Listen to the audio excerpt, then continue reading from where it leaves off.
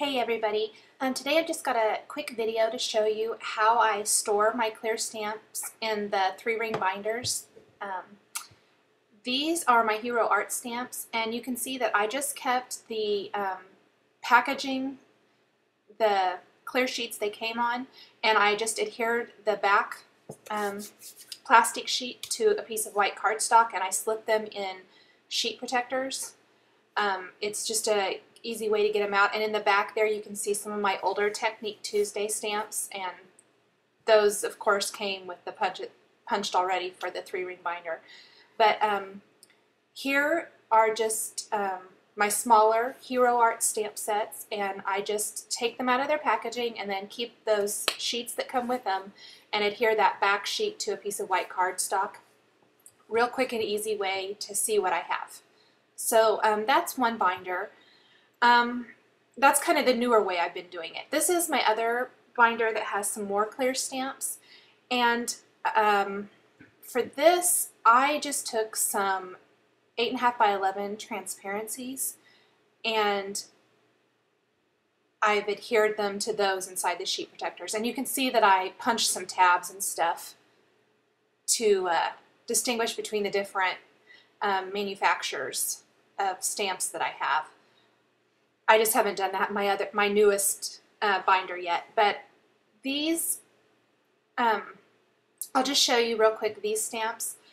I have them all on a um, transparency, and I just took the uh, sheet that came with it and adhered it to the transparency to the front with some glue dots, and then the stamp is on the back like that. So easy way to um, find the stamp I'm looking for. And I'm just going to flip through here. Um, you can see there's like my font work stamps and stuff like that. And the, they're all stored pretty similarly. Um, here's some autumn leaves stamps. And I may have had to cut that contact sheet that comes with it apart a little bit to make the stamps all fit, especially for some of those autumn leaves sets, but that didn't bother me. And you can see here, I'm doing, I'm storing some of these newer stamp sets, just like I was doing my Hero Arts ones, where um, the sheet, I'm just adhering it to a sheet of white cardstock and then slipping it into my sheet protector. That works a little bit better than my original system, but I'm not going to go back and redo it or anything like that because I like having all of my stamps in, in my binders like this so that is that binder. And then I do have um, another system for my 12 by 12 stamp sets from Fancy Pants. Um, I just have this old preservation album from SEI.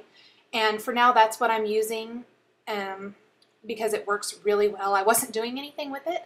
So I just slip the whole 12 by 12 uh, stamp sheet inside one of the sheet protectors and they already had some white cardstock in there so it, it, makes it really easy to see the design so I know what set I want.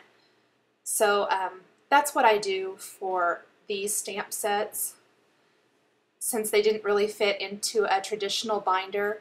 I may eventually move those to like a, a large 12 by 12 um, three ring binder but for now I don't have that many sets so this works really well.